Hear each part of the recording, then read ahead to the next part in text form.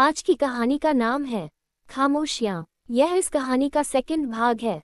यह एक हिंदी कहानी है। चलिए शुरू करते हैं। रास्ते भर सभी शांत थे। रिया पीछे की सीट पर सर लगाए झपकियाँ ले रही थी। आलोक ड्राइविंग कर रहा था और बगल वाली सीट पर बैठा पुराने समय की यादों में उलझता जा रहा था। कॉलेज के दिनों में जब आरुष पीजी फाइनल का छात्र था तब उस समय इस लड़की ने पीजी फ़र्स्ट ईयर में एडमिशन लिया था। यूँ तो सीनियर स्टूडेंट्स द्वारा जूनियर स्टूडेंट्स के साथ रैगिंग किया जाना आम बात है। हालाँकि रैगिंग एक अपराध है। सुन यार, रिया बता रही है कि रूम नंबर 305 में कुछ स्टूडेंट्स मिलकर न्यू स्टूडेंट्स को परेशान कर रहे हैं। ऋतिक ने कैंटीन से अंदर आते हुए आरुष ने फ़ोन में ही झुके हुए कहा। रिया, क्या कर रही है? ऋतिक ने टेबल पर दोनों हाथ रखकर झुकते हुए कहा। मेरे शोना, वह हमारा असाइनमेंट कंप्लीट कर रही है। उसको शिवम ने बताया था और शिवम उनको रोकने भी गया था, पर वह नहीं माने और तू तो जानता है, वैभव तो तुझसे पंगा लेने को उधार बैठा रहता है। आरुष ऋतिक के साथ जाने लगता है, तभी पीछे से कैंटीन में काम करने वाला टीटू हाथ में पकड़ी हुई ट्रे को टेबल पर रखते हुए कंधे उचकाते हुए बोला, आज फिर से वैभव भैया चाय मंगाएँगे और चाय का गिलास फिर से तोड़ेंगे। ऋतिक बिना पीछे मुड़े टीटू से माथा खुजाते हुए बोला, बाबू, इसीलिए तो कहता हूँ हर बार और इस बार भी कहूँगा कि बेटा गिलास स्टील के रखा कर। ये सब तो चलता ही रहता है। आरुष और ऋतिक सीढ़ियों के रास्ते रूम नंबर 305 तक जाते हैं। टेबल पर पैर रखे हुए वैभव अपने सनग्लासेस हाथ में घुमाते हुए अपने दोस्तों के साथ हंस रहा था। ये बताओ तुम सब में से कौन कौन सिंगल है और कौन कौन मिंगल है? आई I मीन mean किस किस के पास बाबू सोना है? बताओ रे जल्दी से। टाइम नहीं है मेरे पास, वैभव ने चश्मे की डंडी से कान खुजाते हुए कहा। कुल मिलाकर दस माइनस बारह जूनियर थे, जिनमें से तीन माइनस चार को छोड़कर सभी ने हाथ खड़ा कर दिया। ए, तू हाँ तू, ही, ब्लू टॉप वाली, चल इधर आ, वैभव ने पीछे खड़ी एक लड़की को देखते हुए कहा। तेरा कोई बॉयफ्रेंड नहीं है ना? चल उस वाइट शर्ट वाले लड़के को किस कर, वैभव ने एक लड़की की तरफ़ इशारा करते हुए कहा। सुना नहीं तूने वैभव मुट्ठी खींचते हुए लड़की की तरफ़ बढ़ा। लड़की भी घबराते हुए पीछे हटने लगी। अच्छा सीनियर से श्यान पटी वैभव ने मुस्कुराते हुए जैसे ही लड़की का हाथ पकड़ने की कोशिश की, लड़की एकदम से साइड होते हुए बोली, देखिए आप सीनियर हैं, इस नाते हम आपकी इज़्ज़त करते हैं, पर यह इज़्ज़त भी जब तक ही की जाएगी, जब तक आप अपनी हद में रहेंगे। पूरी क्लास में सन्नाटा छा गया, क्योंकि किसी ने अभी तक इतनी हिम्मत नहीं की कि कोई वैभव या उसके ग्रुप से इस तरह ऊँची आवाज़ में बात कर सके। वैभव इस बात से तिलमिला गया और चीखते हुए बोला, तू इस तरह बात करेगी मुझसे, वैभव पाटिल से। तेरी हिम्मत कैसे हुई? भूल गई क्या कि यह वैभव पाटिल क्या क्या कर सकता है? कहते कहते वैभव जैसे ही उस पर हाथ उठाने को हुआ, पीछे से आरुष ने आकर उसका कॉलर पकड़ लिया और अपने सामने करते हुए बोला, मिस्टर वैभव, ज़्यादा इज़्ज़त तुझे पचती नहीं है क्या? क्यों हर बार तू यही दो कौड़ी की हरकतें दोहराता है? वैभव आरुष का हाथ झटकते हुए अपने साथियों से बोला लेट्स गो गाइज़ और मुड़ते मुड़ते उसकी तरफ़ आँखों ही आँखों में I will see you later का इशारा करते हुए चला गया। आप सभी भी अपनी अपनी क्लासेज में जाए, कहते हुए आरुष भी ऋतिक के साथ चला गया। आरुष और ऋतिक की क्लास आज थी नहीं, इसलिए दोनों वापस आकर कैंटीन में बैठ गए। ऋतिक ने टीटू को चार चाय का ऑर्डर दिया और दोनों बातें करने लगे। यार, इस वैभव का कुछ तो करना पड़ेगा। हम क्या करें? हम तो बस वही कर रहे हैं जो हमारा काम है। तुम दोनों ने ही मुझे फंसाया था, इस so called anti ragging committee के चक्कर में। चल कोई ना शोना ये लास्ट ईयर है। ऋतिक ने टीटू के हाथ से चाय की कप टेबल पर रखते हुए कहा।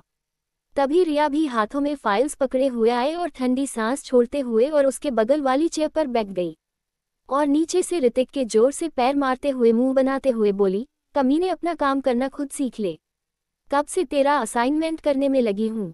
रिया आरुष की तरफ़ मुड़ते हुए बोली, क्या हुआ उस पाटिल के बच्चे का? आरुष कुछ नहीं, बस वही रोज का।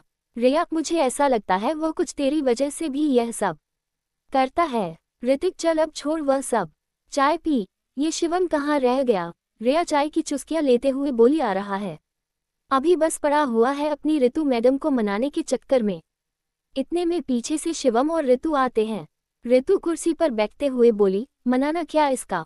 हम लोग तो बस दो चार सॉरी बेबी, सॉरी स्वीटू बोलने पर ही मन जाते हैं। अगले दिन फिर वही शुरू। रिया, अरे यार, अब बेचारे की नज़र ही ऐसी है कि हर वक्त लड़कियों पर जाकर ही रुकती है। वैसे उस वैभव का क्या हुआ सुना है, इस बार ज़्यादा नहीं बोला। शिवम ने आरुष के कंधे पर थपकी मारते हुए कहा, अरे छोड़ो सब अब, चाय पियो। कृतिक ने चाय का कप शिवम को देते हुए कहा, इसके लिए तो कॉफ़ी मंगा दे। रिया ने आरुष की तरफ़ इशारा करते हुए कहा, नहीं, आज मन नहीं है। आरुष ने जेब से फ़ोन निकालते हुए कहा, सभी चाय पीते हुए बातों में खो गए, पर आरुष के दिमाग में वही लड़की घूम रही थी जिसने वैभव को थप्पड़ मारा। दूध समान गोरी, माध्यम बाल, बड़ी बड़ी आँखें, पता नहीं क्यों आरुष के मन में बार बार उसके ख्याल आ रहे थे। वर्तमान, ब्रेक लगने और फ़ोन की आवाज़ के साथ ही आरुष का ध्यान टूटा। वॉचमैन ने गेट खोला और गाड़ी एक बड़े से आलीशान बंगले के अंदर पहुँची। बड़ा मेन गेट खुलते ही बंगले तक जाने के लिए एक सीधा रास्ता, रास्ते की एक और बड़ा सा गार्डन जिसमें अनेक प्रकार के पेड़ पौधे फुलवारी आदि और दूसरी और गराज वॉचमैन को चाबी देकर आलोक ने गाड़ी गराज में खड़ी करने को कहा और तीनों अंदर जाने लगे। गलियारे से अंदर जाकर एक बड़ा ही आलीशान बंगला जो दूधिया रोशनी से जगमगा रहा था बड़े बड़े झूमर, सुंदर पेंटिंग से सजे उस घर में तीनों को कोई दिखाई नहीं दिया। आरुष ने आवाज़ लगाई, दादा, ओ दादा। तभी ऊपर से एक अधेड़ उम्र का व्यक्ति जो शर्ट और पायजामा पहने हुए था और एक हाथ में सफ़ेद साफा पकड़े हुए धीरे धीरे सीढ़ियों से उतरते हुए आया। अरे लाला हम जगे ही थे, पता है ना, हमको थोड़ी चिंता हुई रही। बहुत ही रात हुई गई ना। हमको बड़े लल्ला की तो पतो हती, पर तुम्हारी ना। सो हमने तो कह गई कि लल्ला आए गए। दादा ने नीचे आते हुए कहा। आलोक अपने कमरे में चला गया। यह मोहन दादा थे जो हमेशा से गौड़ परिवार के साथ ही रहे हैं। वह अम्मा आरुष के पिताजी की माँ के मायके के गाँव के ही हैं। कहने को तो मोहन दादा इस घर के नौकर हैं, पर इस घर के अहम सदस्य की तरह हैं। सब दादा को अपना ही समझते हैं। अब दादा, आप वह सब छोड़ो, ये बताओ कुछ रखा है खाने को। पार्टी का सारा खाना भागदौड़ में पच गया। रिया पेट पर हाथ रखते हुए मुँह बनाकर कहती है। अरे हाँ हाँ लाली। हमें छोटी लाली ने बताई दई चलो तुम बैठी जाओ, हम लाए रहे हैं। दादा किचन की तरफ़ जाते हुए बोले। बस दादा, बस आपका इतने प्यार से। लाली, बोलना ही आधा पेट भर देता है। रिया ने नाटक की तरह एक्टिंग करते हुए कहा। अरे लाली, तुम सब हमारे अपने ओ और फिर हमारी तो जैसी भाषाएँ। दादा ने रिया के सर पर हाथ फेरते हुए कहा, छोटे लाला, तुमको लगाए दे? दादा ने मुड़ते हुए पूछा, नहीं दादा, बस इसी भुक्कड़ को दे दो। आरुषि ने प्रिया को सर पर चपत लगाते हुए कहा, तू जलता क्यों है रे शोना? तू रोकना तेरी फैमिली को। बोल दे सबसे कि कोई भी मुझसे और ऋतिक से प्यार ना करे। रिया ने आरुष को चिढ़ाते हुए कहा, बस बस लाली, अब लड़ाई ना करो। जल्दी खाए ले सब जग जाएँगे। दादा ने कहा, आरुष अपने कमरे में सोने के लिए चला गया। रिया, दादा, ऋतिक कहाँ सोया है? दादा, प्रेम लाला के कमरा में। रिया, आयुषी के कमरे में कौन है?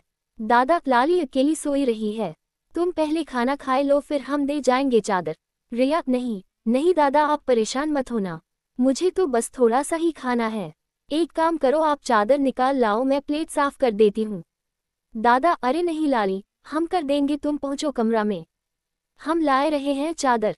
आज उषा बिटिया ने धुलवाए रहे कपड़ा तो कमरा में चादर ना रखी। रिया, अरे मैं करती हूँ ना, आप निकाल लो चादर। दादा, नहीं मानोगी बेटा, चलो आओ जल्दी करके। रिया काम करके आयुषी के कमरे में आ जाती है और सो जाती है। उधर आरुष अपने कमरे में करवटें बदल रहा था। नींद उसकी आँखों से कोसों दूर थी।